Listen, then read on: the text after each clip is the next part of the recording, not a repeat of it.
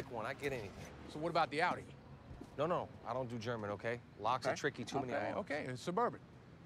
That was 2010. It's gonna get like two miles a gallon. I ain't paying for all that gas. You know, for a car thief, you are mighty particular. I'll break it to the Honda.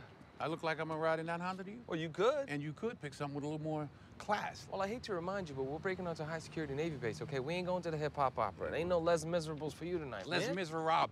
Oh, man, whatever the fuck, Don't man. remind me. Look, it's not my fault Quince took the money back to the base.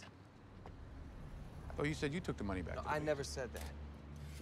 So the money could be anywhere. It could be in East Jabip, the Cayman Islands. No, the money is on the base, okay? You gave it to Commander Quince at the Camino Royale. He told the guys to take it back to the base. Right before he took you out and tried to kill you. That doesn't mean he's lying about the base. Not everybody's as paranoid as you, Bobby. Jeez. What about the Prius? You like the Prius? Camino Real. Yeah, it's a hotel.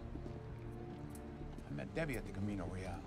No shit. Yeah. What was she doing there? She said she was there to meet her boyfriend, Harvey.